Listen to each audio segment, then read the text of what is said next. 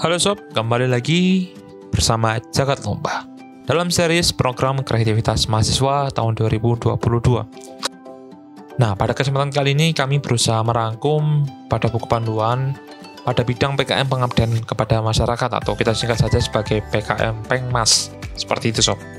Untuk pendahuluannya sendiri, eh, pengabdian masyarakat termasuk dalam salah satu tri dharma perguruan tinggi yang berisi kewajiban perguruan tinggi untuk menyelenggarakan pendidikan, penelitian, dan pengabdian kepada masyarakat. Pengabdian kepada masyarakat itu sendiri berlandaskan SDGs atau Sustainable Development Goals dengan target meningkatkan kualitas hidup, mengakhiri kemiskinan, mengurangi kesenjangan, dan melindungi lingkungan. Mitra dalam PKM PM ini atau PKM Pengmas adalah masyarakat non-profit yang perlu kita garis bawahi adalah masyarakat non-profit sebagai mitra seperti lembaga pendidikan, instansi pemerintah, Karang Taruna, kelompok PKK, panti asuhan, atau lembaga sosial ke masyarakat yang lainnya. Dalam hal ini, mahasiswa dapat mengasah kemampuan berpikir kritis, kreatif, serta inovatif dalam mendesain aktivitas sesuai dengan permasalahan dan kebutuhan masyarakat. Untuk tujuan dari PKM Pengmas adalah memberikan kesempatan kepada mahasiswa untuk berinteraksi secara aktif dengan masyarakat mitra non-produktif, menumbuhkan tegangan rasa dan solidaritas terhadap masalah yang dihadapi oleh masyarakat, menerapkan ilmu pengetahuan, teknologi, dan seni untuk membantu menyelesaikan permasalahan dari mitra. Seperti itu, Sob.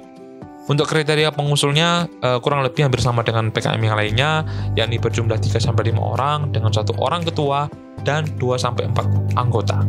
Kemudian dapat berasal dari prodi yang sama ataupun yang berbeda selama masih dalam satu perguruan tinggi dan juga disarankan berasal dari minimal dua angkatan yang berbeda. Besarnya dana kegiatan untuk PKM Pengmas ini adalah uh, eh, 5 hingga 7 juta ya sob.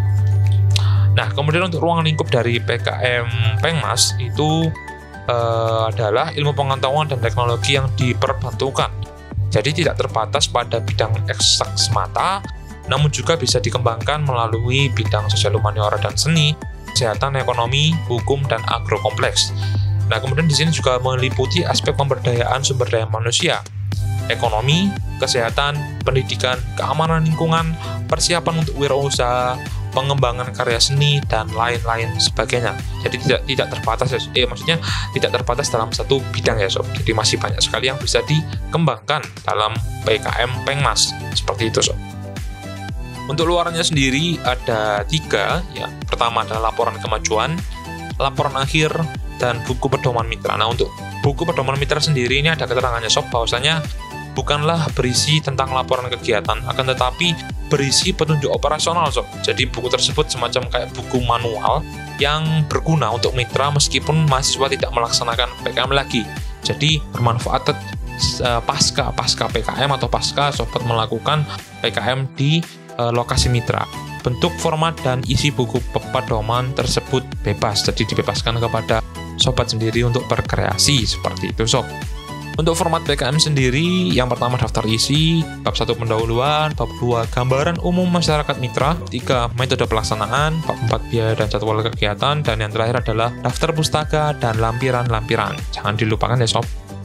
Untuk contoh judul karya yang mendapatkan juara pada PKM tahun 2021 ada beberapa nih sob. Kita ambil tiga contohnya. Yang pertama karya dari Amelia Dwi Sulistiani dari Universitas Airlangga dengan judul Program Pembinaan Sistem Kooperasi Budaya Ikan Lele dalam upaya pemberdayaan masyarakat keputaran pasar kecil terdampak Corona. Yang kedua, karya dari Muhammad Zidan Rahmat dari IPB uh, dengan judul Semaja, Satria Penjaga Mata Air Campaka dengan metode Kaizen. Dan yang terakhir adalah karya dari Nur Fadila dari Unhas Universitas Hasanuddin dengan judul Pelestarian Aksara Lontara melalui inovasi Lontara Pop-up uh, Pop-up Story Pop-up Story Book berbasis QR Code sebagai media pembelajaran siswa SDN 191 atau 191 Impress Paku seperti itu sob. Nah, ini diharapkan sobat mampu melakukan apa namanya semacam tracing ataupun mengetahui polanya kira-kira sebagaimana sih bentuknya kira-kira judul-judul yang bakalan juara. Biasanya ada polanya tuh sob. silakan sobat pelajari dan analisa sendiri dari tahun ke tahun seperti itu sob. Jadi ini kita cuma memberikan gambaran beberapa contoh yang uh, contoh judul yang pernah juara di tahun 2021. Ya mungkin sekian sob dari kami.